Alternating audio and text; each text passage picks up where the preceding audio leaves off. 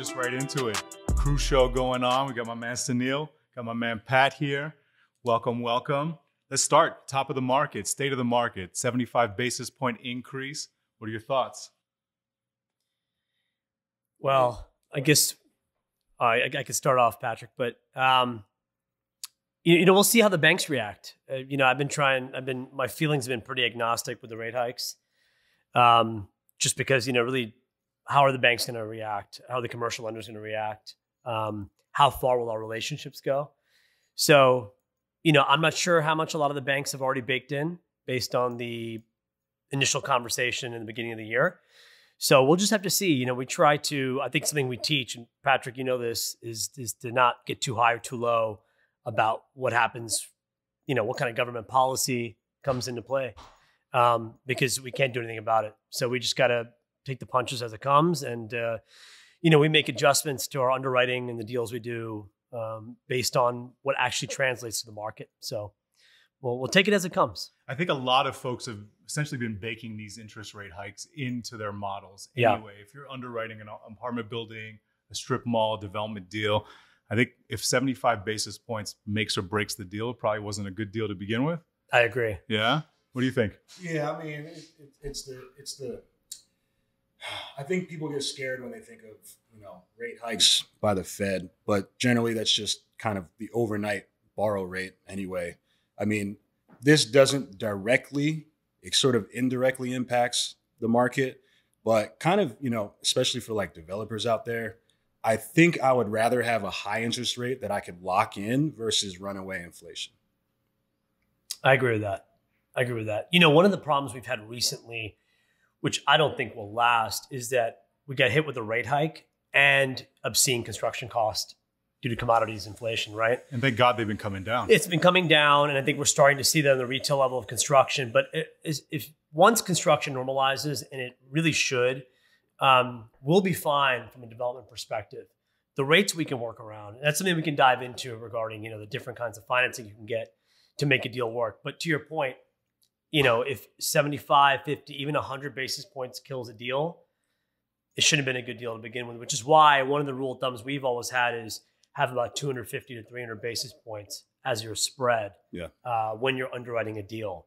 And that's why we've been, we've been pretty picky about deals over the past uh, four or five years. Yeah, I appreciate that. You know, obviously, as developers, right, and investors, we kind of work and talk in this lingo all the time, but we also have our clients that we serve constantly. And uh, one of the big questions that comes up when we're helping folks kind of vet properties, especially um, you know newer investors, we ask them, "What sort of returns are you after? What kind of debt are you going to get involved with here?" And you know, one of the biggest questions is, "What is a cash on cash return?" Pat, you want to kind of give us a quick hot take on what a cash on cash return is for those who may not be well versed in the subject matter? Yeah, sure. So cash on cash, essentially, you know, when you're when you're leveraging a building, you're putting debt on a building or a property. Um, obviously, the bank and the mortgage that's taking care of part of it, but then you also have the equity piece that you have to bring in, right?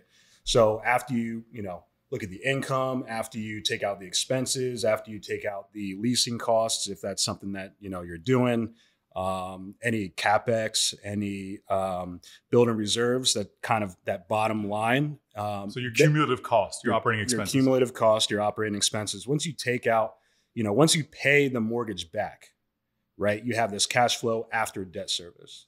That cash flow after debt service, if you take your um, cash flow after debt service and you and you put it over the equity that you put in, that's basically your cash on cash um, uh, equation. That's your formula. So it's your cash, the cash you put in, versus the cash you're going to take out, and it's the cash that you take out over the cash that you put in. That is your cash on cash. So essentially, the money you put in is being put to work. You're going to have your operating expenses to manage and operate your building. Um, and whatever is left after you paid all your debt service and your expenses is essentially your cash on cash return. That's correct. Got it. Got it. Anything else that you think is pertinent on that subject, or do you think we kind of buttoned it up? Well, I mean, I think according, you know, cash on cash is it's it's there are a lot of different kinds of investors, right? Like you have the developer, you have the guy, you know, the core investor, you have the value add, you have opportunistic. Um, when we talk about returns, it's not so cut and dry, right? Cash on cash is That is for something that I think a lot of buy and hold investors look at. Um, you can also look at your IRR, your internal rate of return, which essentially takes this capital event at the end. It's either going to be a refi or it's going to be a sale, which helps your returns. But your IRR is based on the amount of time you're getting your money back, right? Um, and and how quickly, right? If you have it more front loaded, you have generally a better IRR. If your money's coming at the end, your your return isn't as great, right? Because it all has to do with time, right? But there are just so many different ways to look at it. If you're looking at it from a cap rate, a purely cap rate standpoint. So your percentage return on your investment. Your percentage return on your investment. That's sort of like let's take time out of the equation. If you're looking at your IRR, you are looking at time. But if you're looking at cash, right? That's, you know, let's buy and hold, let's collect cash every month, every year, you know, every decade. And we're not truly concerned about what that end product, that appreciation looks like. So makes sense. The, yeah, the investor is the investor is you have to speak to your investor basically.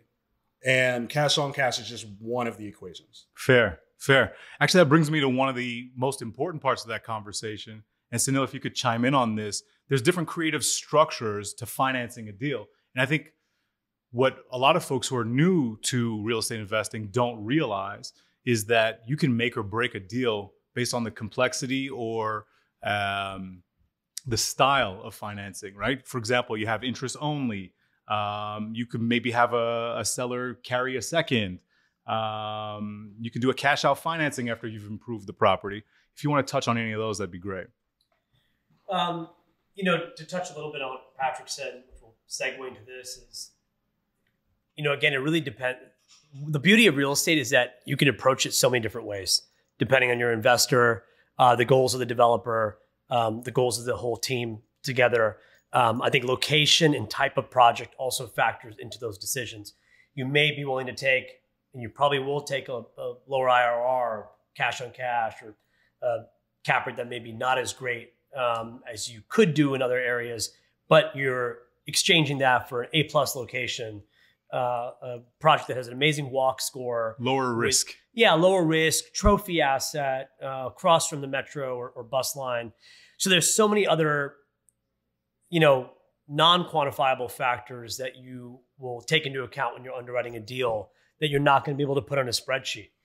So uh, that's a big part of it as well, and that's how you add value as a developer is to really highlight those you know variables and, and ensure that they're included in the equation properly um, and then into kind of the creative fi- and that also can lead you to like what kind of financing you should get.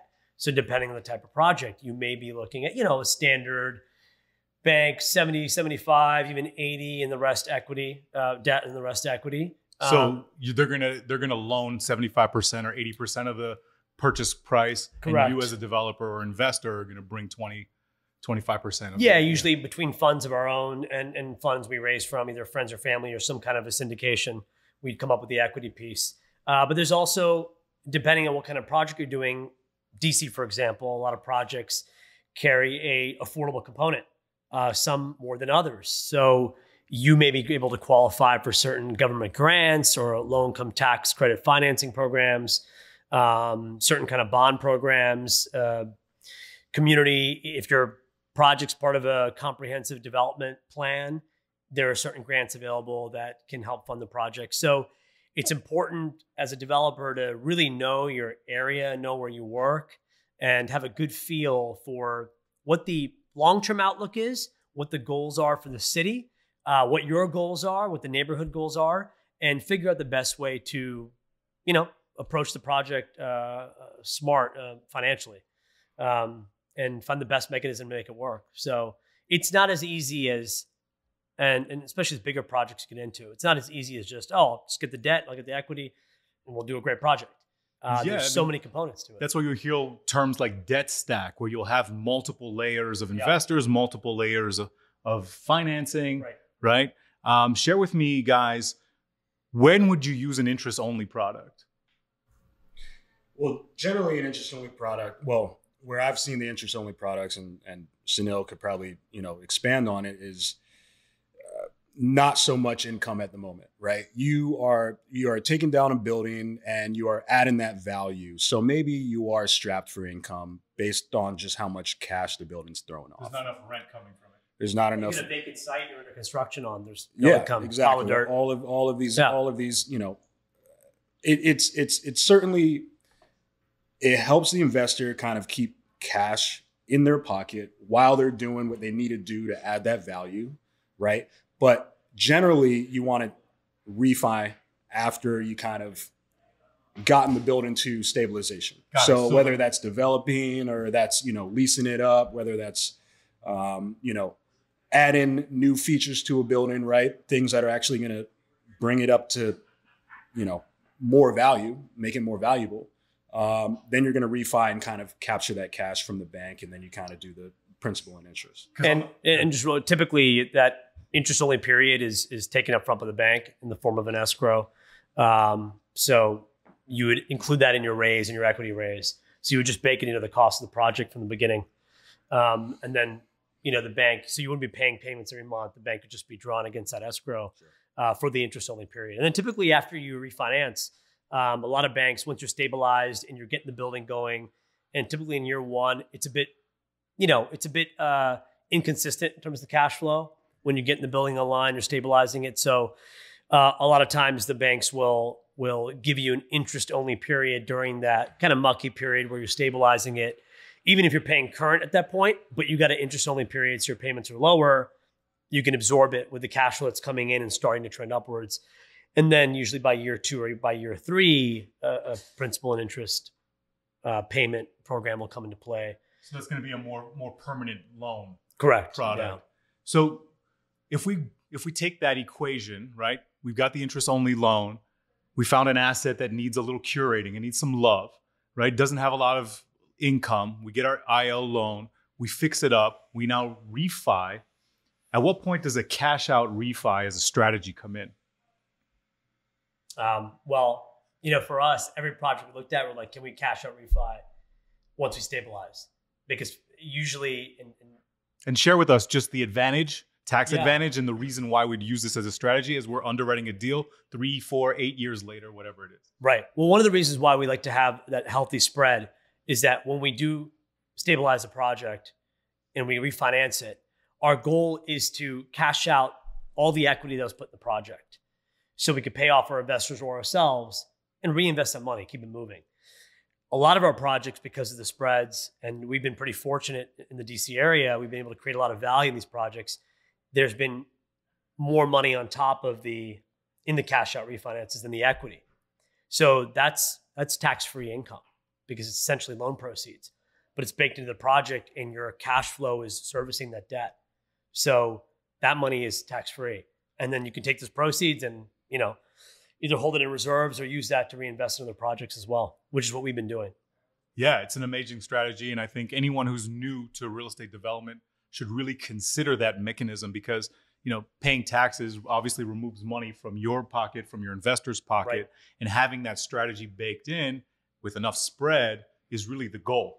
Right. Um, because, like you said, you don't have a taxable event. You can take that proceed, whether it's from improving the value, whether it's from appreciation or a combination, and then continue that cycle, right? Right. Um, so that's pretty cool. And then there's a trade off there because you know some may think, oh, I can't believe that money is not taxed. Well, one, it's technically debt, uh, but we get the ability to reinvest that money into future projects. So everyone really benefits long term. The community, the cities, uh, the amount of money we pay in fees and construction taxes, and um, you know income and expense taxes every year. Uh, it's it's really expensive, and those are all government taxes. I mean, that's all revenue we're generating for the city. Um, so being able to take that money and reinvest and keep improving neighborhoods, that's the goal. And that's the benefit to being able to take this money and, and put it back out there to work. Yeah, and ultimately, what ends up happening is you're increasing the tax base for the city, for the jurisdiction that you're working That's in. right. And what ends up happening is that money gets reinvested in infrastructure, in schools, and otherwise. So, yeah, everything. you know, for folks who think, "Ooh, they're not getting taxed on this," it's getting reinvested into another project, which is further improving the quality of the, Right. the neighborhood, the community and so forth. Right. And we we we take that risk. We take the burden of the risk because we're carrying that as debt. Correct. So yeah, meanwhile, your building's being serviced, I mean, there's a catastrophic event in the economy, we're still left holding the bag. So even though it sounds great, it, it is great because it gives some mechanism to grow and keep reinvesting. Um, there's still a lot of risk and burden that we carry as developers. So uh, that's something that you know we don't really get pat on the back for, but it's uh it's uh it's a risk that we have to carry for the life of the project. Hundred percent, hundred percent. We got a lot of folks, you know, especially when they're new and they're they're calling us for advice. They they maybe saw a property that, hey, what do you think we can do with this? What's highest and best use? I have a lot of folks asking me, hey, Sacha, what do you think about a hard money loan, hard money lending? Um, certainly, it's a mechanism that can be used, um, and there's some big drawbacks, but there's some big pluses too. Kind of, if you guys want to kind of chime in, what are your thoughts on hard money loan as a strategy? um, both up and downsides. I think you probably uh, have a better opinion on that. Yeah, I mean, look, it's it's the benefits to it is that you can get money quick through a private lender with less underwriting scrutiny, um, and uh, it's it's going to be more project based and relationship based than as, as to a bank who's you know more binary in their approach. You know, get your balance sheet, you got your um, maybe credit, uh, you know, track record, et cetera. Whereas a hard money lender typically will go in knowing, okay, I may carry some more risk. Worst case, I can take the project. I have the know-how. That's my downfall. Um, and and it carries an expensive interest rate to it, but you know you're making it up with the you know less underwriting standards. So as long as your project can can carry that note, can carry that interest rate, and the the financing uh, works, then it's a great product to use because of the you know the mechanism of getting it's much easier than a bank loan. So it really just depends on uh, can your project afford it. If your project can afford it, and that's your best bet, and you can't get a retail loan from the bank, then there's nothing wrong with it. Um, so So, a couple things to note. Typically, in a hard money loan, you're going to have to pay a couple points or percentages of Sure. the total loan it's balance not cheap; it's expensive. on the way in, and you're going to have a pretty high interest rate on the back end. right. And outside of you know a personal guarantee to collateralize that loan, it's typically the project itself that they're going to finance that's going to be the collateral. Typically, that's the main collateral Yeah. is a project itself, and the hard money lender knows that. So, in order to really consider a hard money loan, the project that you're looking at has to really substantiate the, the balance that you're going to ask for. Absolutely. Yeah, makes Yeah. sense. And a lot of times, hard money lenders will will uh, carry the interest forward, okay. so it, it's owed on the back end. So you're not paying it current typically, Yep. and you're not front loading it typically. So you're you're playing principal and interest on the on or sorry, just principal on the way in, is that right? Well, you're just you're getting um, you're going to typically put up the first tranche of money, Yep. which could be about ten percent to fifteen percent. The hard money lender puts up the rest, and the interest is just it's it's compounding. So it's it's interest on interest for the life of the loan, and it's owed on the back end.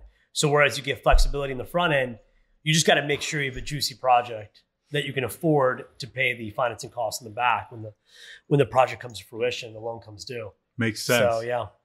Share with me guys your thoughts on agency loans, HUD loans, those kinds of things when we're looking at projects. Well, I mean, look, I think the best thing to be looking at right now is just your your can you cover that cost, right? I think Right. as as as Sunil has kind of alluded to in a in a couple of the different conversations we've had, it's it's just about how juicy the product is, right? The project, my bad, um, and can you sub- you know can you pay this back, right? So it's just always about what is the most smartest thing I can do to add value and not have all this money come out of my pocket, right? It's just the cost of debt. Um, I think sometimes HUD loans make a lot of sense. Sometimes they don't.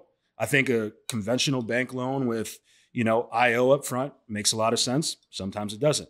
Hard money. Sometimes it does and sometimes it doesn't. Right. As, as far as like the terms, um, you know, HUD is a little bit different. Um, Sunil probably, you know, better at speaking to those terms as well. But, you know, at the end of the day, it's just about looking at the different options that you have in front of you and and realizing what the cost of that debt truly is. So I think what this really boils down to is if you don't have a ton of experience in real estate investing, you need to get aligned with folks who have that intimate operational knowledge and the deep Rolodex of you know a plethora of lenders to be able to figure out how do we underwrite this deal, how do we structure the debt, and how do we make sure that you're not in a risky proposition. Yeah, that's right. I mean, when we get into true development projects, and I'm not talking about like single family flips or or you know small two three unit buildings. I mean, those are those are great projects, and you know if the math works, the math works. You know, I always say that. Like, let's does does the math math is my saying, right? so you know if it if the math maths, then it's a great project. But when you start getting the true development plays, which I consider you know, projects that are, you know, 10, 15, 20, 30, 40,000, 50,000 square feet, you know, 10s, 20, 30 units, 40 units plus, 50 units. Uh, those are true development plays that require a lot of skill. And they're not something you can just make, do trial and error. You can't just make, can't get in and say, oh, I'll make mistakes, I'll figure it out. You have to have the know how, the experience of, of navigating a project from A to Z, from the acquisition. You know, we always say the money's made when you buy the land, the acquisition, through the entitlement period, getting the permits, knowing how to navigate your, your local jurisdictions, um, and and then coming up with an efficient project that works, uh, and learning and knowing how to maximize that site. Uh, all the while, you are, you know, you've uh, got your debt typically in place when you've purchased the acquisition, or in some case, you buy the land in cash if you have it, and you add the debt on later. But if you're an investor there's nothing better you can do than align yourselves with an operating partner who's been through the gauntlet, who's made mistakes. I would say align us with guys who have made mistakes already. And you know, even when we interview people that work with us, our team members, we've always said the first question I ask is, tell me about the mistakes you've made in this business. And if someone says I haven't made any mistakes, we won't hire them yeah. because this is a true business. This is the most, you know, uh, most litigious business in the world. And if you haven't made mistakes and you haven't been through it and you haven't come out of the fire, you don't have what it takes to, to make it as a developer or in a development firm. So it's very important to align yourself with an operating partner who has experience and has been through it and they understand what's around the corner and what are your backup plans. You know, when we pitch investors, the thing I lead off with is here's your downside. That's the first thing I tell them. Risk first. I do not tell them, oh, we're making this beautiful project and it's gonna be amazing. I don't try to pitch them on a story. I, I don't do that. I just say, hey, look, it's, and maybe it's boring, but I tell them, hey, look, here's your downside. This is our worst case scenario. Um, so if they they say, okay, great, I'm good with that, then I know we have a winner in terms of a good investor, we're good operating partners, and we'll have a good relationship going forward. I think it's a great. Well, I, I was actually going to speak on that. You know, I think the smart, the successful developers, the successful uh, investors, it's just it's risk aversion, right? I mean, you have to be looking at the downside more than the upside to really make sure that the pencil, you know, the math maths, as he says, um, how juicy the deal is, right? If we make mistake one, two, or three, you know, are we still going to be able to recoup the cash, right? If you know the catastrophic event does happen, what does that look like? You know, how much are we in on this deal? These are the kind of things. And how that, long? And how long, right? Yeah. So again, like it, yes, it just it comes back to debt. It comes back to the timing of the debt. It comes back to the equity. It comes back to different programs that you know the city or the Fed federal government can help with. Um, you know, and the returns of the investors ultimately. But then comes down to how smart the sponsor is, how smart the operators are, right? How do you keep the costs down? Like it ties to his experience, and it, and it, and, it, and it ties to the experience. So you know, it is as you said, just like you know, there are a lot of different intangible things going into a product, but at the end of the day, it's all about risk aversion. Yeah, no bank's going to lend on a 10, 20, 30 million dollar development or more if the operating partner doesn't have extensive experience. Um, so, you know, people will ask, well, how do you get that extensive experience? Well, actually, you know, you start like I started flipping houses. Uh, that was kind of like my. I actually started, you know, doing exterior renovations, and it morphed into flipping houses. This is like the we built this city thing, right? Yeah, exactly, exactly. So you know, you start small, and you really just kind of replicate that over and over and over, and you slowly start growing. One units turn to three, to four units, to six, to ten, to fifteen, and then along the way, you get experience, and people who've grown with you also have money now, hopefully, right? At least your generations come up, you people who have the same level of professional experience, and they start putting some money in, and then those deals grow, and then their money grows, and then someone with a lot more money may come around and say, "Oh, you guys have a great thing going. Um, pitch me, get me on some of your deals," Right. and then you just end up getting bigger. But it takes time. I mean, you know, been at it for from start to now. It's been almost 18 years. Amazing. So, you know, it does take time. It was a 20 year overnight success. Yeah, exactly. 20 year overnight. Actually, you know what? That brings me to a great point. I wanted to really touch on how do we evaluate a property, right? There's like replacement cost, right? There's cash flow, there's comps. I know you've done a, like billions of dollars worth of underwriting and deployment over your career. Pat, share with us like how do you determine a property's value? And then what are the different ways to kind of slice that pie? It's a loaded question. I know, right?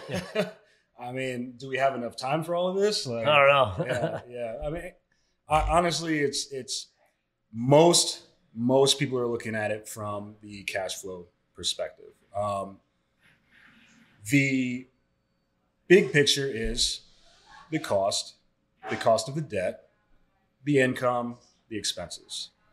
Right. That's one way to evaluate it. But you know, I was kind of thinking about this. Property is really only worth what the what the buyer is going to buy. Okay. Right. So even if you come in and Or the bank's going to finance. what, what's that? Or the bank. or what the, bank's bank is going to finance, yeah. like you know you have you have all of these different you know sure this this is my IRR my cash flow I'm looking at comps right generally people are going to get into a project say you know they're going to buy it for a million. They did their underwriting. They want to take it out at one two. But you know what? The circumstances at this general moment like this building's worth 900000 right? The way i'm basically finding this out is by looking at all the comps. So you can look at things like replacement cost. You can look at things like comps. You can look at the cash flow right? All of these different things. You can look at the future value of of things um, which is basically you know let's just say there's a property where you can you know a, a piece of land where you can say hey look on this land we know that the land next door is sold for x y and z amount of money and you can actually build this much on top of it and that helps with you know the value of of the building. But you know the the the highest the best way to look at it is just highest and best use of the land. You look at zoning and generally it's just the comps right so it's what another buyer is going to be able to take it down for Yeah, just to add to that, like a development project, we we're looking at future cash flows and, and what the value of the of the project will be based on that, on those economics. So that's really how we look at the, you know, the full rehab development plays. Fair, fair. So let's talk about a couple wins recently. Like I think you just closed on a pretty cool project today, right? Yeah, I had a pretty cool project on the, um, I guess, kind of smallerish side. It was a six unit in the heart of Adams Morgan, historic, a six unit apartment we built with a really cool retail space. We were going to keep it and we had a really cool retail concept, but um, a, a nonprofit came along and they had a need, part of their initiative. They had money they had to spend. So the economics made sense to, to move on this project. And with what we have in the pipeline, some of the bigger things we're doing in the affordable housing space, we said, okay, this would make sense to unload and, and get off our books, uh, get that cash, rede- redeploy it out into some of the larger um, affordable housing projects we're doing. So that, that, was, that was a nice win. It's a gorgeous property. And I feel a little bit like it's a little bittersweet for me Really? because I really like the building and I like the concept we had coming in the retail space. We're going to do an awesome like pizza and wine bar, but it's okay. It'll, it'll come back around. So that, that was a nice win. And we have a couple cool wins coming up in some of our future projects that uh, that'll be really cool. So And Sunil, you've had a ton of success with affordable housing plays here in this in, in like the DC metro. Um, share with us, you know, a couple of those wins. Um, I know that we've got a couple buildings that are coming now for sale, but share with us how that affordable housing lane has been really good to you and your investors. yeah, so you know the beauty of so Washington D.C. specifically, and cities like New York, San Francisco, uh, Chicago, Boston. um, you name it. These are these are move to work cities. So they the affordable housing programs, um, they typically affordable housing, what used to be called Section Eight, uh, was really just kind of pigeonholed into certain neighborhoods and cities. And the problem with that was it didn't actually satisfy the goal of affordable housing. The goal of affordable housing is to take to take people who are unfortunate, unfortunately cannot afford to live in any part of the city and give them equitable opportunity to live anywhere they want to live. Um, and, and, you know, just enjoy the opportunities of a neighborhood that hasn't had uh, really a, lot of the negative history is a lot of, of certain neighborhoods and cities, right? So affordable housing vouchers are are a great mechanism to in these move to work cities to allow tenants to move anywhere they can and what the cities do is actually don't cap the rents they allow the vouchers to match the market rate rents of that specific neighborhood So in practice, a Yeah. family who may not have had access to a specific neighborhood or school system Correct. can now get involved. Correct. And that was always the goal from the beginning. But because of government bureaucracy, they were never able to actually catch up to how the market rates trended. So what would happen is, like I mentioned, people would just with vouchers end up back pigeonholed into certain neighborhoods that they wanted to get out of to begin with. So whether they wanted safer neighborhoods and you know equitable distribution of housing is what, in my opinion, creates a safer uh, city. Uh, it creates economic diversity, socioeconomic diversity, um, and a more prosperous city overall. So when you tack on also Yeah. generational opportunity. You can Absolutely. build a different network that you would maybe not have had access to absolutely because you're able to now live in this neighborhood that otherwise you wouldn't have been able to afford. hundred percent. So what we've been what we've done is you know because the city they, they incentivize us operationally uh, to to create projects that are directed towards affordable uh, tenants. So we we've done is we made a model out of it. We said you know what let us instead of having a building that's just you know partially or some of our buildings are partially affordable, partially market. We've done some projects as complete affordable, and working with the city, we've you know, uh, had some really nice projects in great neighborhoods and uh, that have allowed residents to take advantage of some of the opportunities that these neighborhoods provide. And it's something as simple as like, oh, I'm closer to my job now. I can take a quick five minute bus or I can walk. Spend more time with the kids as a Spend result. more time to get, or just better quality of life. Yep. Whereas I used to, you know, have to trek two hours across the city just to get to work on a bus or three buses. And now I have to do that to get back home. And now there, there are residents who are like, you know, we had one, we had a veteran, and I remember this story because he wrote an email to our property management division. And uh, I'll leave his name out, but I still remember his name. And he said, um, you know, thank you for awarding me this opportunity to live in this neighborhood. I used to live in a neighborhood where bullet holes were were standard in my windows or doors. And now I live in the best neighborhood I ever have in my life. I can go on walks and I feel safe. I can enjoy my, you know, I'm a senior and I'm a veteran. I can enjoy my latter years in, in peace. And I can walk to the grocery store. I couldn't do that before. Amazing. Um, so these are small wins, uh, and I, ha- I have to commend the city too because a city like DC has done a great job in creating really good, robust, affordable programs that are I to say developer friendly, but they allow us to navigate the programs with them so we can create good housing. And and our quality of product is the same. Just because some- someone may think it's affordable that you know maybe you skimp on the quality. No, we do condo quality finish, uh, durable product for all of our projects, affordable or not. So uh, it gives us the ability to do that. And um, you know, I have to commend everyone from the city and obviously our team to, to na- being able to navigate this. Let me get on my pulpit for a moment. For all of those of you who want to poo poo developers and talk about the big bad developers, Yeah. about how we're gentrifying cities, the truth is that this is economic development that benefits everyone. It increases the tax base, it gives opportunities to folks who wouldn't have had it otherwise. And by increasing that tax base, you'd have more money to fund after school programs, infrastructure, education, public transit, you name it. So stop poo pooing developers. Get out of my face with that shit. Excuse my language. Sorry, guys. I, I, it's something that I'm and then look to, to that point, uh, you bring up an interesting topic. Like they're they're they're developers who have, have no ethics. ethics and no worry. Of course, it's in every industry though. let's not get it twisted. It's not exclusive to developers only. Uh, but you know, if it wasn't for development projects, if it wasn't for neighborhoods changing the landscape and, and evolving with the times, there is no money for anything. Correct. And that's where it comes from. But what is good for, you know, what's something great that DC has done is they're attaching affordable requirements to some of these projects, a lot of them that are making us or, or making developers from the onset have to diversify the income levels of the housing, which is great for the neighborhood because then you're able to, to you know, um, diversify the housing. When you diversify housing, tenant bases, you know, uh, the the socioeconomics of neighborhoods, that's again when you have equitable opportunities that are fair for everybody. And that's how neighborhoods stay diverse. That's how they grow. That's how everyone has a fair shot at life. Um, and I think, you know, as cities jump on this and do more and more affordable housing components with development projects, we will see more of this. Um, and it'll catch up once the governments are able to get through a lot of the red tape and can catch up with the private sector. We, we will look back in 10 years, 15 years, 20 years. We'll say the things we did now, which had a lot of heat, um, really did work. And I truly think that.